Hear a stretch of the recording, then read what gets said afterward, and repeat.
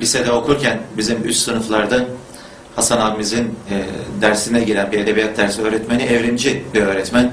Her girdiği sınıfta evrimi anlatır. E, yaratılışı inkar eden bir öğretmen.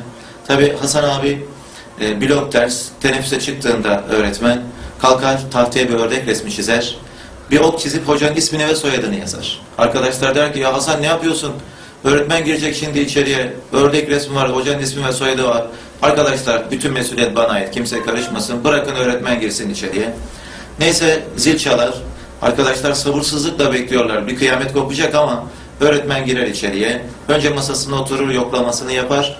Daha sonra tahtaya bir şey yazmak için kalktığında tahtaya döner bir bakar ki bir ördek resmi çizilmiş. Ok çizilip ismi ve soyadı var.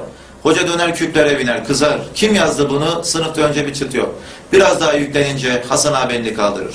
Hocam der, onu yazanı gördüm ben. Kim yazdı Hasan? Çabuk söyle. Hocam der, arkadaşlar biraz koşuşunca etraf toz oldu. Size bir tozlu ortama girmeyin diye. Ben kapıyı açtım. Arkadaş camı açtı. Bu ara bir hava ceyranı yaptı. Hava ceyranı gitti tebeşire çarptı. Tebeşir kalktı tahtaya. Kendi kendine tesadüfen rastgele bir ördek çizdi. Sonra bir ok çizip sizin isminizi ve soyadınızı yazdı hocam. Biz bile alet ettik. Hoca iyice küplere biner. Ya Hasan sen bana dalga mı geçiyorsun? Hiç tebeşir rüzgarın çarpmasıyla kalkar bir ördek çizer. Benim ismim ve soyadımı yazar mı?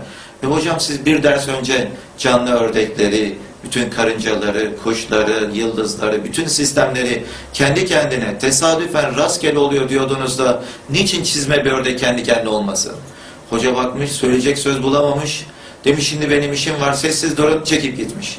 Hasan abi burada ne yaptı? Bediüzzaman Said Nursi Hazretleri'nin dediği gibi bir köy muhtarsız olmaz.